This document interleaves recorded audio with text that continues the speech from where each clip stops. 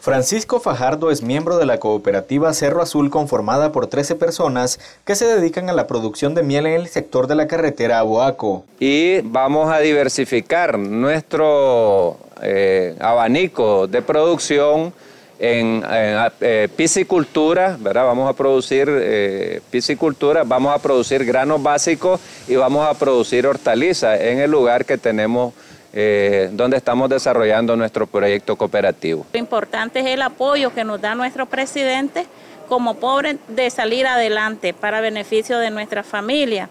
Eh, y de igual manera, pues haciéndole la invitación a la feria. Oscar Sáenz representa a la cooperativa Ecovegetales de Nicaragua, la cual tiene 33 miembros que se dedican a producir hortalizas, granos básicos y frutas en Cebaco.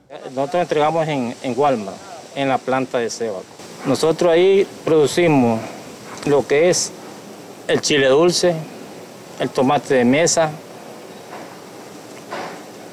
el chile jalapeño. Estos protagonistas estarán en la feria que el Ministerio de Economía Familiar realizará en homenaje al general Sandino y al cooperativismo. Así que el Parque Nacional de Feria está destinado, está enfocado en, honrar a ese legado, a ese legado de Sandino, a, ese, a esas cooperativas que forman parte de la economía de nuestro país. Son más de 5.000 cooperativas que están a nivel nacional organizadas. También se invita a las familias al Festival del Chocolate este domingo en el Parque Japonés. Con imágenes de Moisés Pérez les informó Jimmy Altamirano.